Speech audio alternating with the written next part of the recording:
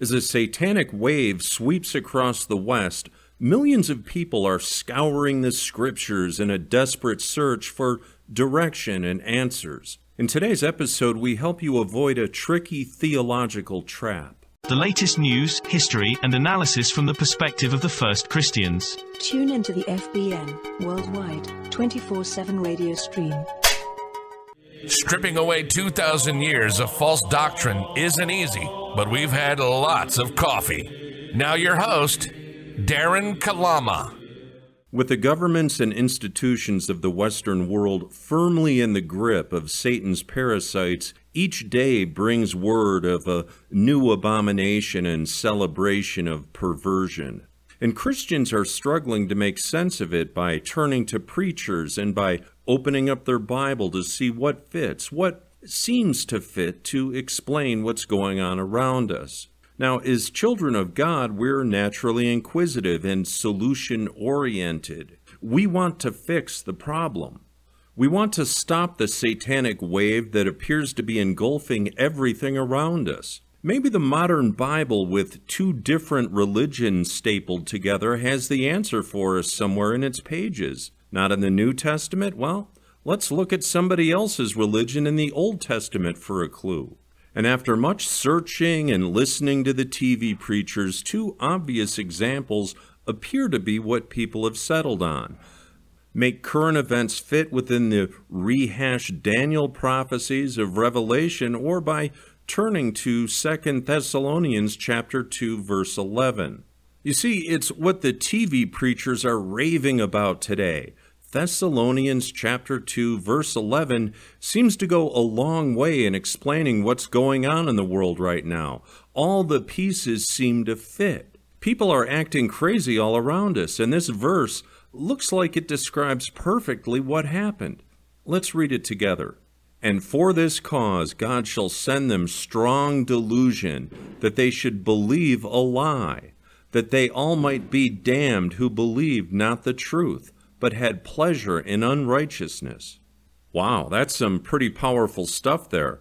But you know what? I don't think my voice does justice to this verse. Doesn't give it the weight and gravitas that it really deserves. So let's get in the moment. Let's listen to Max McLean read the King James Version with that authoritative British accent that he has.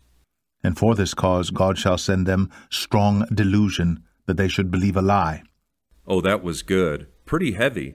Let's let that sink in and marinate in its royal intonations and inflection. Here it is again. God shall send them a strong delusion that they should believe a lie. Huh. Hand in glove, key in lock. It looks like the perfect explanation. People all around us are believing lies and going along with whatever nonsense and fairy tales the monopolized media are telling them to believe. Every week it's a new lie, and they just go along with it unquestioningly. And not only do they believe it, they get emotional and attack anyone around them that professes to doubt or questions the latest lies. Almost like, oh, I don't know, like they're possessed or something. It's actually disturbing to watch how far gone some of these people are. And here comes along Second Thessalonians chapter 2 verse 11 explaining it all to us, telling us that it is in fact God that has sent them a delusion, making them believe all these lies. God himself is making them do it. Well, this must be what's happening. Now we finally have the answer. Yeah, no, we have the wrong answer. In fact, we have no answer because there is no verse 11 in the first Christian Bible of 144 AD. And nowhere in that Bible is the word delusion. You see, it's just another example of the editing and creative license used to change the gospel of the Lord and Paul's original epistles when they started churning out the modern Bible in 382 AD. This, of course, was just 50 years after they stapled the Hebrew Torah to it in 325 AD at the Council of Nicaea, and then renamed it to the Old Testament, setting the stage for thousands of years of confusion and, dare I say, delusion. But let's not get lost in the weeds. Let's stay focused on this verse. Because we have the first Bible, we can easily see what's been edited, added, or removed from the original when we read the modern Bible. So solving this mystery was pretty easy. The verse was simply not there. And in a minute, you'll understand why it would be impossible for that verse to exist in the pre Nicene Bible in the first place. You see, I knew it wouldn't be there before I even looked. And it's a skill you'll also learn as you become more familiar with the First Bible and its original Christian canon when you reconnect with the pre Nicene faith. It's a skill that makes it very difficult for the Jesus killers to deceive and trick you. You see, when you're in a confusing room full of mirrors, break the mirrors. Let's read it again. God shall send them a strong delusion that they should believe a lie. Now, whenever you see a verse that attributes malign human intention to our Christian God, you can be assured it was edited in by the Judaizers. We've done dozens of episodes pointing out specifically where and how they did it. Galatians 4 4 is one of my other favorite examples of their word games and sophistry. Our God, revealed to us only through Jesus Christ, would not seek to delude you and make you believe in lies. You see, that's something that the Hebrew deity does, tricking and lying to his own people. Their Bible, what they call the Torah, is filled to the gills with examples of their deity lying to them, double dealing on them, and killing them. That's not our Christian God. Not my book. Not my God. And whoever their deity is, he sure sounds a lot like Satan. But I'll let them explain it to you because it's not my religion, and frankly, it's not my problem. In fact, this verse 11 fever dream quote is in direct contradiction of Scripture.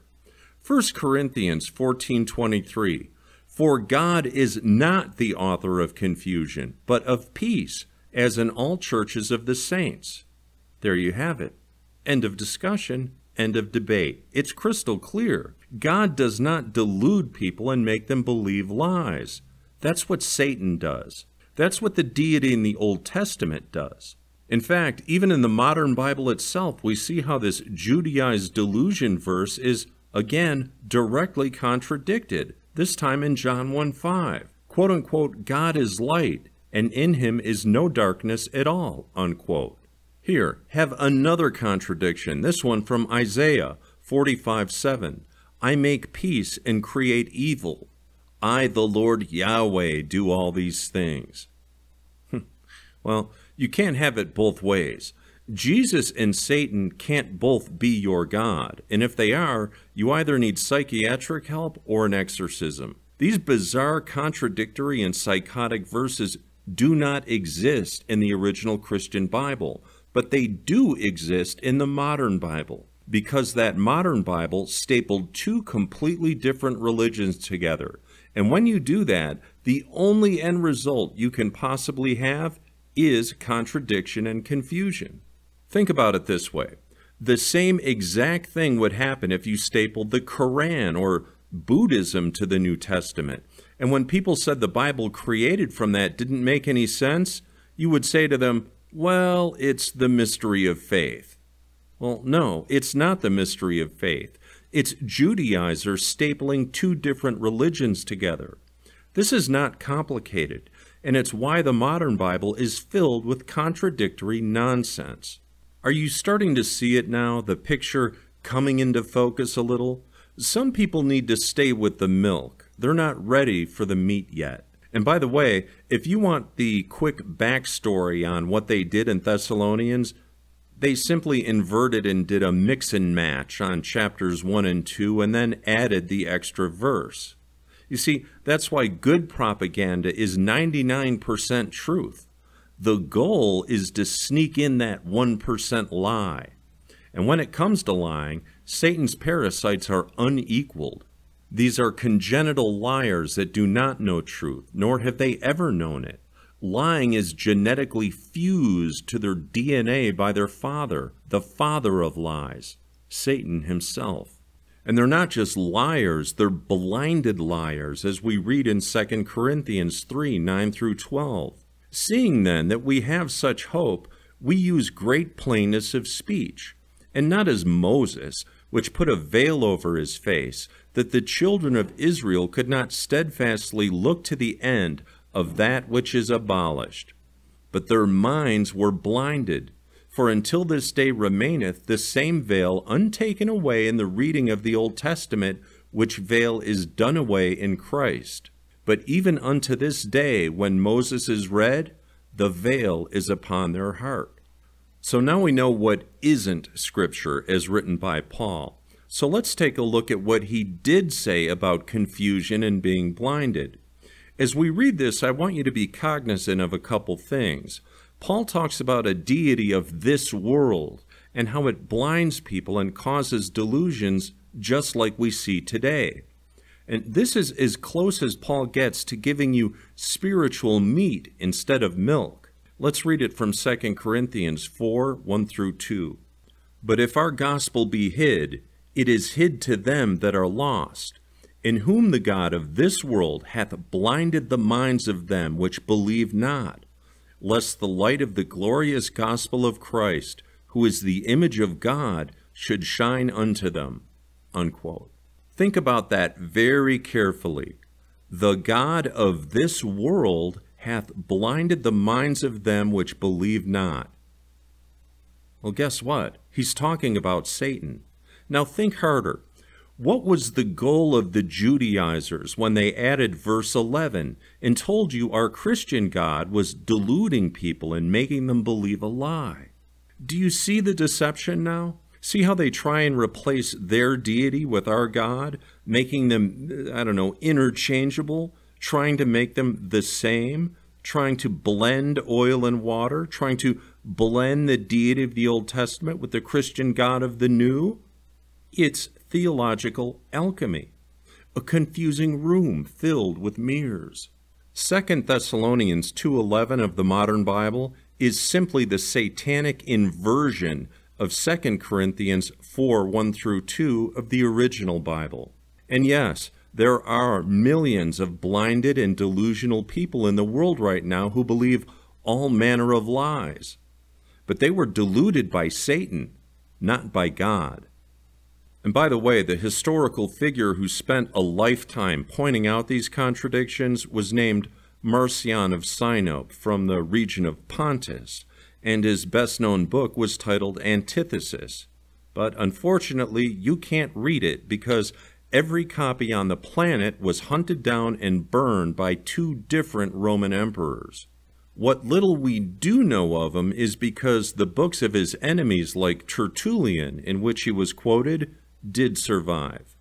Now, if you'd like to learn a little bit more about him and the First New Testament before it was edited, I recommend a book by the same name called The First New Testament by Professor Jason BeDuhn. I'll add a link in the show notes for it.